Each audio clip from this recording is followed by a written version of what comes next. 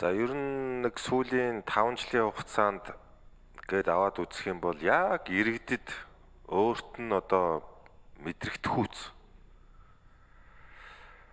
Тэгээ энэ хүнд суртал авилгатай бодитоогоор тэмцэж байгаа яг ийм одоо их сайн хууль бол энэ бүртгэлийн багц хууль болсон. Одоо энэ IT-гийнхэн бүртгэлийн одоо ийм Монголыг захин болгочлоо гэж зүгээр иргэдэд бол яг хүрээд байгаа мессеж нь бол тэр. А гэхдээ энэ яг фронтын яг гардагч суур ажлыг хийж байгаа хүмүүс нь бол одоо энэ хууль зүйн ам бүртгэлийнхэн байгаад байгаа. Гэхдээ энэ их амар хэлбэр богино хугацаанд хийгдээгүй.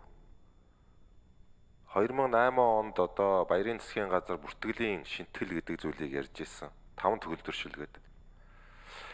Тэгээ тэр үеэс л одоо энэ олон зуун сая цаасан мэдээллүүдийг л одоо захин болгохын суурийг хийсэн.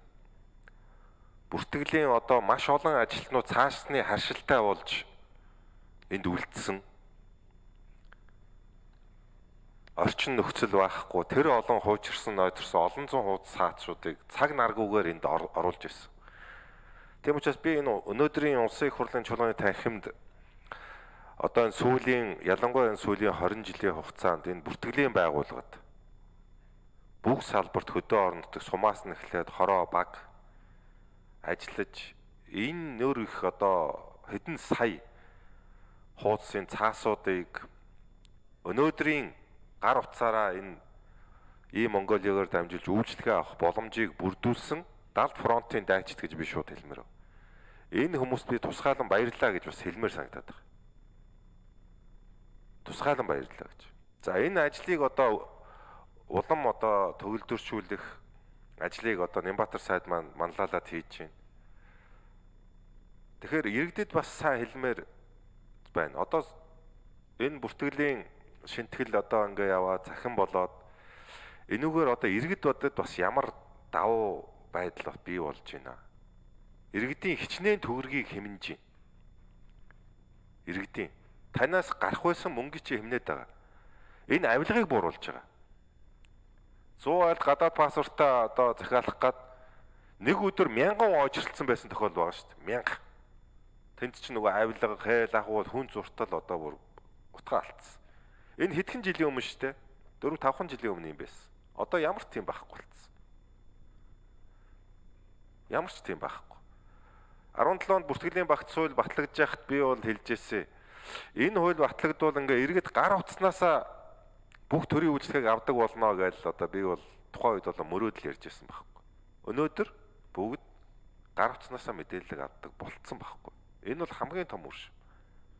Тэгэхээр одоо энэ цаашдаа хичнээн ямар төрлийн одоо үйлчилгээнүүд мэдээллүүд цаашдаа энд орох уу? Иргэдэд ямар одоо өшөө давуу тал, өшөө боломжууд нээгдэх үү? Өшөө хэлбэр болох уу гэдэг дээр одоо бас сайн мэдээлэл өгөөч гэсэн юм асуулт байна. Баярлалаа. За дэлгэр сайхан. 82 За улсын бүртгэл дэлгэр сайхан асуултанд харилаа. За яг одоогор бид нар ийм Монгол систем дээр 20 төрлийн лавлгаа, 50 төрлийн 22 төрлийн лавлгаа, 50 төрлийн үйлчлэгээ буюу 72 төрлийн үйлчлэгээг үзүүлээд байна. За энэ үзүүлсэн нийт тоо 2.1 сая гаруйд үзүүлсэн байна. За бид нар хамгийн бага тооцоогоор зөвхөн автобусанд явах мөнгөний тооцоо за банк руу явах гэдэг энэ тооцоогоор тооцохоор 30 тэрбум төгрөгийг яг иргэдийн одоо иргэдээс гарах зардал дээр хэмнсэн байна гэсэн юм тооцоо гарч байгаа. За бүр том утгаараа ийм Монгол систем дээр 80-ад тэр хүн төгрөгийг хэмнсэн гэдэг гадны судалгаа байлаа. За энэ дотроо үзвэл бид нар бараг 50 60-аад хувийн улсын бүртгэлийн үйлчилгээ эзэлж байгаа учраас 30-аас 40 тэрбум хүмийг бол яг иргэдээс гарах зардлаас хэмнсэн байна гэж харж байгаа. За ямар одоо илүү цаашд ямар үйлчлэгээнүүд үзүүлж ийнэ вэхээр За яг и одоо энэ цахим үйлчлэгэн дээр хамгийн түрүүнд бид нар энэ хүргэлтийн үйлчлэгээ бас оруулж ирсэн байгаа. Өөрөлд манай цахим үйлчлэгээ гэхээр бүтэн онлайн хагас хүргэлттэй буюу нэг талд нь хүргэх, хоёр талд нь хүргэх буюу их нотлох баримтуудыг хүргэж өгөх энэ үйлчлэгээнүүдийг бид нэмж оруулснараа бусад төрлийн үйлчлэгээ ялангуяа худалдаа худалдаа авах гэрээ байд юм уу. За хуулийн этгээтэй холбоотой өөрчлөлтүүд гэдэг миний хийх болцоогоор хангагдсан. За 5 сарын 1-ээс энэ захим гарын үсгтэй холбоотой үйлчлэгэн дээр маш их том ололт гаргахаар бид нар харж байгаа. Өөрөлдөл иргэн захим орчинд өөрийгөө таниулж чадж байна гэдэг бол бидний одоо босод хийж чадахгүй байсан захимжуулахад хүнд байсан энэ үйлчлэгээнүүд рүү бүтэн орж байгаа. За бодлого яаж барьж ийнэ нөхөр бид нар одоо энэ 22 төрлийн лавлгаагаар бид нар ер нь лавлгаагаа зогсооч. Бид нар лавлгаа гаргах гэхээс илүүгээр цэвэр үйлчлэгээ тал руугаа ажиллая. А үйлчлэгээ тал гэхээр заавал иргэн цахим орчинд танигдсан байх ёстой. За энэ бол одоо цахим гар үсгийн тухай хууль бол нэлээд нэмэр болж байгаа гэж ингэж ойлгож байгаа. За бид нар цаашлуул энэ захим гарын үсгтэй холбоотойгоор зөвхөн иргэдэд одоо дотоод энэ бичиг баримтаас гадна гадаад зорчих хэрэг буюу одоо и паспорттой холбоотой асуудлыг энэ дид үтсийг хөрөнд бас шийдэж байгаа. Өөрөлдвөл бид нар өнгөрөх 12 сард 82 дахь улс болсон. И одоо PKD гэж ярьдаг ИКАО-гийн энэ байгууллагын 82 дахь улс болж чадсан. Өөрөлдвөл бид нэр үндсэндээ Монгол улс бол и паспорттой холбоотойгоор үлдсэн байсан 170 хэдэн улс дотор одоо ганцаараа ших үлдсэн байсан. Одоо мэпэн дээр зурагдаад харагдахад манайх бол өөр өнгөөр ялгаддаг байсан. Тэгэхээр бид нар цаашдаа зөвхөн энэ дотоод байж байгаа захим гэхээс илүүгээр гадагшаа чиглэлтэй ялангуяа гадаад зорчиж байгаа за мөн гадаадын хөрөнгө оруулалттай компаниудын за тэнд байж байгаа гадаад байж байгаа иргэдтэй чиглэсэн үйлчлэгийг үзүүлэхэд нэлээд том давуу талуудыг гаргана гэж харж байгаа. Ялангуяа гадаад одоо оршин сууж байгаа иргэдийн хувьд бол энэ цахим утсаар нэвтрэхэд ямар нэгэн боломж байдгүй. За тэгвэл бид нар тоон гарын үсэг авснараа Монгол улсын иргэд одоо зөвхөн Монгол дотроо биш дэлхийн одоо өнцөг болон бүрээс мэдээлэл авах болцоогоор хангаж байгаа. Бид нар яг энэ чиглэл рүүгээ бодлого боловсруулад ажиллаа явж байна.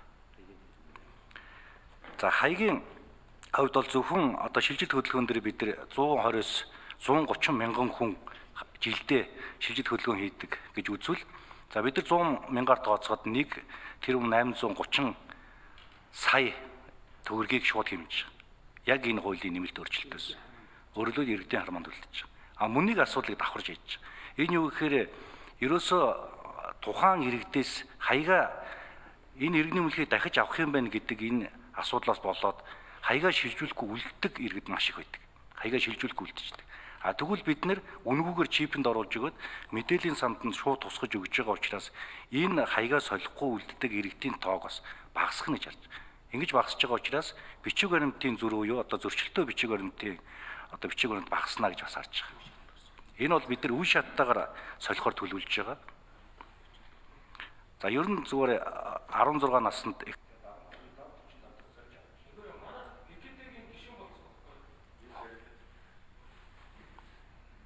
За. За Агшиг Нямбатар сайд гүйцэж хариулъя.